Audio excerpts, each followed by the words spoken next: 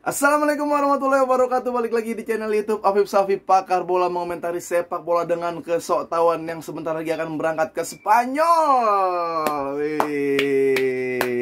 Sebelum gue review gue mau kasih tahu dulu Trip gue ke Spanyol. Pertama gue mendarat di Valencia. Kita nonton Barcelona Valencia di Mestalla setelah itu kita ke Barcelona. Setelah kita ke Barcelona main-main dulu ke Madrid, Santiago Bernabeu, uh, Stadium Tour pasti ya bikin-bikin konten di sana.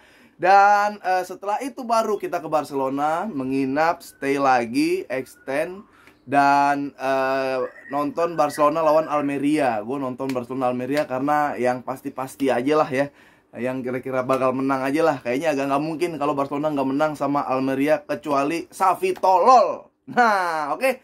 Dan uh, hari ini gue akan membahas ya pasti Liga Champions di mana Barcelona menggunakan strategi, menggunakan uh, filosofi yang murahan. Dan menurut gue langsung aja gue bilang Barcelona ini nggak pantas main di UCL. Ya, karena Europa League adalah tempat yang pantas buat Barcelona ya dengan strategi yang murah seperti apa seperti Safi jadi gue ngerasa Barcelona nggak pantas di Liga Champions. Oke, sekarang kita bahas. Jadi nggak layak main di Liga Champions ya. Template nggak kreatif, strategi murahan, paksa Dembele doang untuk um, membuat peluang. Jadi kalau lu lihat templatenya adalah main setelah itu usahain oper ke Dembele. Setelah oper ke Dembele nggak ada uh, wingback yang intercept, nggak ada cutback cutback yang mewah, nggak ada pengennya cut inside ke tengah terus shoot. Lu nggak bisa manfaatin Lewandowski punya striker yang kelas jadi nggak jalan. Karena apa yang terjadi? Kalau lu cuma oper Dembele ya mau disut sama Dembele atau crossing crossing ngapain beli Lewandowski? Ya Luke De Jong posturnya lebih tinggi gitu. Yang gue nggak habis pikir adalah kenapa strategi itu terus yang digunakan. Ya mengingat di tengah back tengah tuh Inter ya Bastoni tinggi gitu Skriniar juga Melondoski sepantaran masih muda juga jadi kenapa lu lakukan crossing crossing gak jelas mulu? Yang udah jelas gagal dari babak pertama. Itu pertama rapinya. Oke sekarang itu ulasan singkat. Nih gue punya papan gue akan menjelaskan nanti kenapa Lewandowski nggak bergerak kenapa Barcelona macet dan monoton jadi terlihat murahan. Ya sebenarnya gue kalah sama Inter mungkin ada beberapa orang yang uh, menganggap keputusan wasit kontroversial. Entar dulu lah jangan kena kecil lah. Ini main Barcelona dulu. Mainnya nggak jelas. Mainnya goblok ya. Dan gue kalah sama Inter juga nggak nggak nggak kecewa kecewa banget sama kayak kalah sama klub Spanyol yang main parkir kok ya. Kayak main Rayo Vallecano tapi dia bisa golin gitu doang bedanya ya. Jadi man masalahnya dari Barcelona adalah dia lawan kayak Vallecano yang kalau Barcelonanya tuh 80% uh, Leo Vallecano tuh 30% kelemahannya tuh dia selemah itu Barcelona aja nggak bisa golin apalagi Inter yang mungkin 60% gitu. Masih kalau secara level masih di bawah Barcelona. Jadi golin aja nggak bisa Inter pun bisa golin. Ya udah itu bonus kemenangan buat Inter Milan. Karena Inzaghi pun bilang uh, kita akan bertahan serapat mungkin. Kita akan bermain seefektif mungkin untuk mengalahkan tim kayak Barcelona. Dan akhirnya Inzaghi dan Inter berhasil. Oke? okay? Kita bahas Barcelona menggunakan 4-3-3. Nih gue langsung kasih Inter aja di sini, ya. Inter aja di sini. Kenapa Barcelona macet? Kenapa uh, Lewandowski pun mungkin seperti nggak kelihatan? Sebenarnya agak susah nih. Pertama sebelum kita bahas ini, gue kasih tahu dulu. Nih Safi nih kayaknya dia nggak nonton bola ya. Udah jelas-jelas rapinya di Brazil gacor banget main di kanan, ya di Leeds main di kanan juga gacor. Kenapa dipaksain babak pertama di kiri terus sampai macet. Babak kedua pun baru di ada switch play di menit 80-an. Nggak ngerti gua, nggak ngerti apa yang di pikiran Safi ya. Dipaksa terus, udah tahu kalau Dembele kanan kiri kakinya itu masih oke okay, menurut gua. Rapinya nih bisanya kiri doang dan dia agak males buat maksain lari, buat dribble, enggak. Harusnya tuh udah bisa ngelihat sejeli itu Safi di switch play. Nah, Selanjutnya nih. Ya. Dia punya striker bagus, tapi nggak bisa mainin striker, manfaatin striker dengan cara yang elegan. Lewandowski itu dijaga tiga orang, Dumfries, eh Dumfries si eh, Bastoni, tinggi-tinggi Skriniar yang Skriniar tuh tugasnya emang marking terus ke mana Lewandowski pergi. Jadi kalau dia keluar dari posisi out of position masih ada Bastoni masih ada back back Inter yang yang mengcover uh, peninggalan space yang dilakukan sama si Skriniar nggak nggak masuk akal gitu kan. Maksa bola atas terus Dembele Dembele umpan Alonso umpan itu nggak masuk akal. Lew Lewandowski tuh bukan yang tingginya 3 meter gitu bisa tiba-tiba disundul. Enggak enggak dia bola enak pasti dimakan tapi bola enak itu nggak dateng dan uh, selalu Dembele passing kena kaki musuh. Uh, rapinya nggak kelihatan Alonso passing juga nggak jelas. Jadi bola di depan nggak ngalir ini ini seru nih banyak poin-poin. Ini maksudnya tumben-tumbenan gua sampai nyatat banget. Di tengah hancur di tengah hancur bener-bener hancur. Terlihat dari kick off pertama ya. Busket nih langsung ke depan. Busket nih gue ngeliat sekarang tugasnya tuh kayak attack midfield ya. Bukan lagi jangkar holding yang yang yang distribusi distribusi ya sesekali dua kali tapi dia menjadi attack midfield. Berada di belakang Lewandowski gue nggak ngerti apa yang dilakukan Safi dia udah shooting nggak ada ya. Shoot power gue yakin pasti nggak ada. Akselerasi buat gocek satu lawan satu nggak ada Busquets di situ. Tapi kenapa dia berada di deket banget sama kotak penalti? Sementara Gavi aduh disuruh ngepres juga nggak ngepres ngepres banget. Gavi passing-passing Lord uh, short pass short passnya juga nggak ada. Akselerasi goyang-goyang juga nggak ada. Semua peran diambil sama Pedri. Pedri nyerang ya uh, licin gocek-gocek masih bisa masih bisa uh, distribusi bola ke depan. Sementara ketika ke belakang uh, garis Barcelona lewat satu di tengah tinggal berapa dengan back cuman Pedri doang yang turun. Gavi ke mana? Busquets ke mana? Gue nggak ngerti. Dan gue juga udah berfeeling kalau misalkan gol ini pasti dari luar kotak penalti karena Ter Stegen sering tuh gol kebobolan dari luar kotak penalti. Dia agak lemah di situ. Nah Gavi Gavi Busquets nggak jelas gue bingung kenapa Casey dibeli? Ya. Kalau nggak dimainin di awal-awal gue gue nggak ngerti lah kenapa. Belum ada jawaban yang pasti dari Safi kenapa Gavi dan Busquets main terus dipertahanin apalagi di saat deadlock nggak diganti-ganti. Tengah tengah kacau kacau balau. Oke. Jadi kita berharap apa kalau tengah dan depan udah udah ngaco, udah nggak bisa ngapa-ngapain. Fullback kita Alonso sama Sergio Roberto dia cuma jago passing. Dia nggak nggak ada overlap overlap yang kayak dulu Jordi Alba sama Alves lakuin. Nggak ada dia. Dia larinya juga pelan. Bus, Sergio Roberto larinya pelan. Dia selalu ada di belakang Dembele. Alonso yang anehnya adalah dia dempet sama si si rapinya ada di sini. Apa ah, kenapa lu instruksiin gitu? Lu mau jadi false fullback si Alonso begini bisa.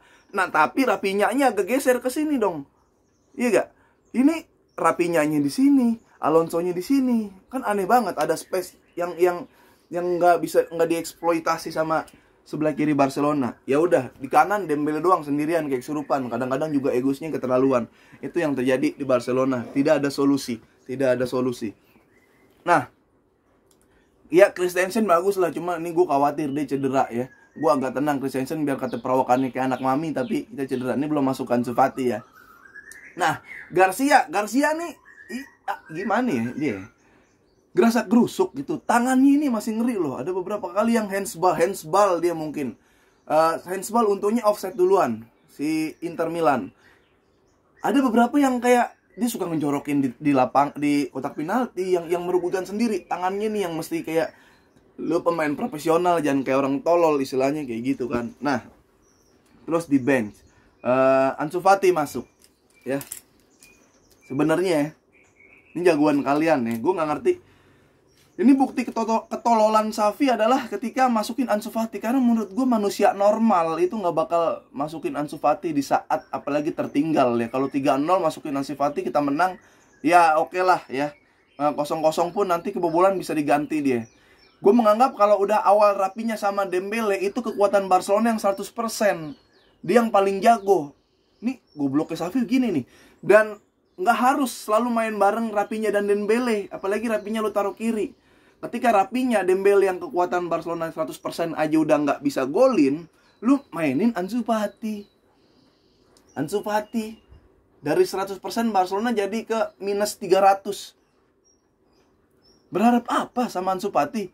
Lu main Liga Italia dikit-dikit keprak berapa kali Pedri jatuh, Gavi jatuh berapa kali, Dembele berapa kali jatuh. Ini deket deket musuh aja nggak berani.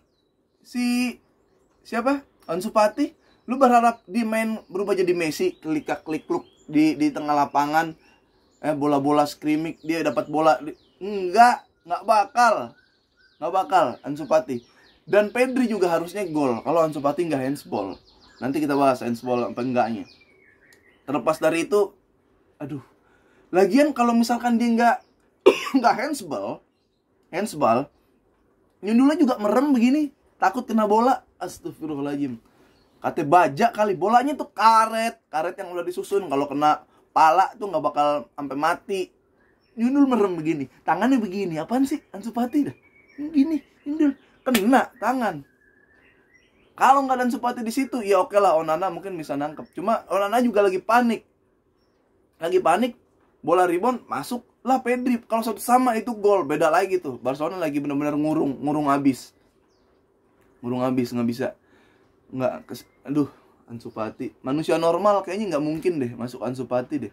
Udah bener main TikTok. Main TikTok rame Instagram. Rame. Main bola. Kalau udah ngilu kaki bilang sama pelatih saya udah ngilu nih. Ya cedera dimaafin kita maafin. Gue lebih berharga lu kayak bikin video saya kepada fans Barcelona minta maaf. Saya ternyata udah nggak bisa main bola lagi kaki saya ngilu kalau tabrakan saya jatuh mulu. Daripada kayak saya malu mendingan saya udah nggak berada lagi nih menjadi benalu. Wih jadi rima begitu gue tiba-tiba. Ya mending klarifikasi mundurin diri lah. Ansu Fati jadi pemain bola. Gue nggak expect maksud gue nggak kalaupun Inter kartu merah satu orang itu pemain masih tetap imbang hitungan 10 lawan 10 aneh aneh banget dah Ansu Fati. Ya itu Ansu Fati ya. Dan oke sekarang kita masuk ke kenapa Lewandowski nggak bisa bergerak? Nggak nggak kelihatan istilahnya lah. Kenapa strategi Barcelona macet? Kenapa gue bilang Barcelona menggunakan strategi murahan? Safi miskin taktik nggak pantas main di Liga Champion nih Inter pakai 5-3-2 5-3-2 dia punya back 5 dan yang pasti semua shape di bagian belakang ketutup ya. Bahkan sampai pinggir-pinggir lu mau pakai fullback mau pakai oh, wingback eh mau pakai wing juga. Kalau nggak jago-jago amat nggak bakal tembus. Kecuali lu punya pemain yang sekarang mungkin selevel Iniesta siapa ya? Ya kalau Pedri-nya ada dua atau Bernardo Silva. Pemain yang bisa melihat liuk megang bola kuat nembus satu orang terus dribble tembus lu masih bisa kayak gitu. Ini Safi harus mikir lagi. Lu nggak punya pemain yang yang megang bolanya sekuat. Lu belum ada maestro di tengah ya. Nih kenapa Barcelona ngadet dia punya 5-3-2 ya nih nih beneran nih. 5-3-2 di sini. Kita taruh Lewandowski. Lewandowski yang jagain tiga bos. Skriniar ngikut marking Lewandowski ke mana pun. Masih ada dua sisanya. Di sini kita taruh Lewandowski. 9 nih Lewandowski di sini. Ya. Di sini Lewandowski. Skriniar di sini. Ini masih bisa cover Lewandowski mati dong. Ya gak satu lawan satu aja sekarang bola belum tentu menang. Ya ini tiga lawan satu. Sepak bola tuh unggul satu jumlah satu aja tuh harus udah bersyukur. Ini enggak ya. Tiga lawan satu gimana cara masuknya? Harusnya apa yang terjadi ketika uh, Lewandowski mati bergerak. Kita punya tiga gelandang empat tiga tiga. Kita punya tiga gelandang. Ada Gavi di sini. Gavi kalau masuk ya masih ketemu dua orang. Ini Gavi. Masuk ketemu dua orang. Ada dari sebelah sini yang ini bisa mundur drop back. Susah lagi tembus. Ya lu mau masukin siapa lagi? Pedri masuk. Pedri Pedri kan lebih ke holding malah ya semalam dia. Pedri masuk kemari masih ketutup dua orang. Tuh. Tiga gelandangnya turun ngedrop back lagi. Sini ngecover. Gimana ceritanya? Coba yang terjadi seperti ini. Kalau dua-duanya udah ma- Busket di sini lah ya. Busket nih nggak bingung dia dempet sama Gavi Busket oke kita pakai salah satu terakhir caranya adalah menggunakan fullback dan uh, sayap kita untuk menyerang. Dembele di sini. Dembele di sini ya. Ditutup lagi mending yang nutup satu dua yang nutup Hah? makanya Dembele akselerasinya kemari aja. Kemari gocek-gocek kemari aja. Crossing yang di mana numpuk di sini tetap kalah jumlah. Ini Dembele nih. Rapinya. Rapinya. Rapinya masuk kemari ya ini rapinya. Sampai turun. Lautaro sampai turun. Ditutup lagi di cover. Nah padahal kalau kita masih punya fullback kita masih punya wingback yang bener-bener bisa overlap. Kita bisa main dari sini. Sergi Roberto kemari. Sergi Roberto ke sini ya. Dani Alves yang dilakukan sama fullback fullback biasa. Ya Walker lah Cancelo pasti bisa kayak begini begini ini nggak punya lari. Nggak punya lari. Mungkin Bellerin nanti kalau udah sembuh. Konde pun larinya juga nggak terlalu kenceng-kenceng amat. Ini cuman ada di belakang Dembele ngikut Dembele begini. Udah ketutup bos. Ini turun semua kita punya Alonso. Alonso ngapain semalam? Dia nggak overlap ke atas dia nggak overlap ke garis pinggir. Nggak nggak Alonso. Dia kemari. Mungkin Balde lebih punya insting overlap ke atas. Dia dempet sama si uh, siapa? Rapinya. Ya udah sisa dua doang. Siapa? Christensen sama Garcia. Atau Pique sama Garcia Oke begini bagaimana mau golin nih? Bagaimana mau golin? Ini udah bener-bener rapet ya. Kecuali ada orang yang jadi false terus yang belakang-belakangnya nusuk-nusuk Lewandowski jadi false pun kalau ini sepedri lah ya gocek-gocekannya si Bernardo Silva bisa masuk mari. Ya. Gavi nggak kelihatan Busket pun yang biasanya di sini ngatur bola malah nempel kemari. Itu yang terjadi di pertandingan Barcelona lawan Inter. Sehingga uh, kita nggak bisa memanfaatkan Lewandowski dengan elegan kita hanya bermain dengan strategi yang murahan template serang oper Dembele umpan nggak gol umpan buntu buntu buntu. Inter mempunyai kedisiplinan yang sangat luar biasa terlepas dari itu ya. Ya udah jadi itu yang terjadi di Barcelona yang harus dibenahin.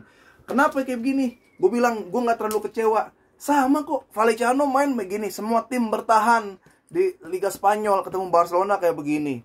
Kiper jadi kelihatan jago padahal biasa-biasa aja menurut gue kena kartu kuning. Nggak ada nggak ada bola yang probabilitasnya itu uh, untuk menciptakan gol banyak gede persenannya. Enggak enggak ada. Makanya kiper semua yang Barce lawan Barcelona kelihatan jago. Oblak di Atletico kelihatan jago. Ledesma uh, musim belakangan kiper Cadis pun kelihatan jago. Jadi dia udah siap menerima serangan udah panas dan bola yang di shoot probabilitasnya tidak ada yang besar kemungkinan untuk mencetak golnya. Itu yang terjadi pertandingan Barcelona lawan Inter. Keputusan wasit gimana bang? Gue emang ngerasa sebenarnya. Ini gue gue nggak yang konsen di sini ya. Gue yang menganggap gue bersikap Barcelona kalah semalam ya udah kalah tanpa keputusan wasit atau apa pun. Ya ada handsball yang dilakukan Dumfries ada uh, handsball yang dilakukan sama uh, Ansu Fati nah permasalahannya adalah uh, gue masih rancu nih ada yang mengatakan Dumfries itu tidak uh, mengubah arah bola. Jadi dia kena pala duluan baru kena tangan. Makanya gak handsball. Kecuali mungkin kena bola, kena tangan, mentalnya agak jauh, itu bisa didiskusikan. Ya. Tapi kenapa kalau Ansu Fati handsball? Ansu Fati rebound pertama dari Onana, dia langsung kena tangan. Itu itu menurut gua aja nih, ya menurut gua. Tapi biasanya ada juga aku lupa nih, lu gua baca-baca dikit lah ya di FIFA peraturan FIFA. Tapi kalau misalkan uh, setelah handsball yang tangannya off ya uh, nggak nggak nggak nggak aktif tangan tidak aktif itu ketika mentalnya ke temannya lagi tidak uh, tidak mengubah arah bola jadi itu masih kemungkinan uh, bisa nggak offset. Tapi ya udah rancunya di situ. Cuma yang menjadi masalah mungkin ketika handsball Ansu Fati itu dicek VAR tapi uh, si Dumfries nggak sampai dicek VAR gitu aja. Mungkin ada beberapa fans Barcelona yang terima ketika abis Dumfries handsball mau itu handsball atau enggak dicek dulu dilihat dulu di VAR-nya apa itu handsball atau enggak dan bisa dijelaskan. Jadi ini mungkin yang sedikit uh, fans Barcelona nggak terima di situ.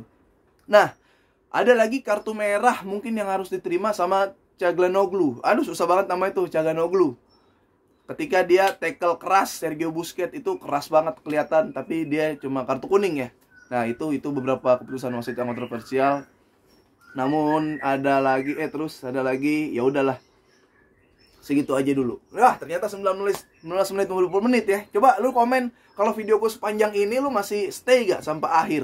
Ya atau uh, ya silakan komen lah di channel YouTube gua itu ruang sharing, ruang diskusi. Sekali lagi gue mau mengatakan bahwa gua menerima kekalahan Barcelona karena Barcelona menggunakan strategi murahan. Gua nggak kecewa ya dengan eh, nggak uh, sedih dengan kemenangan Inter karena hal-hal yang biasa dilakukan klub Spanyol untuk mengalahkan Barcelona dipakai sama Inter dan Inter berhasil. Yang sebelnya adalah Safi ya sama kok nih kayak Faikano sama kayak Kadis kenapa nggak bisa memecah buntuan gitu aja sih yang sangat gue sayangkannya adalah di situ. Barcelona menggunakan taktik yang murahan, template tapi templatenya tidak berkelas. Biasanya kan template yang berkelas ya Pep Guardiola style lah. Lo tik kita tik kita sampai depan tap in gol. Ini sangat-sangat tidak berkelas dan belum cukup umur buat main di Liga Champions. Europa League adalah tempat yang pas ketika uh, Barcelona dengan permainan seperti ini, maka Europa League adalah tempat yang pas buat Barcelona. Oke, segitu aja dulu YouTube dari Afif Safi sampai ketemu lagi di pertandingan-pertandingan berikutnya. Mungkin ada El Clasico nanti. Wow, akan seperti apa Barcelona menghadapi El Clasico. Oke, segitu dulu. Sampai ketemu lagi dan sehat-sehat selalu, jaga kesehatan. Assalamualaikum warahmatullahi wabarakatuh.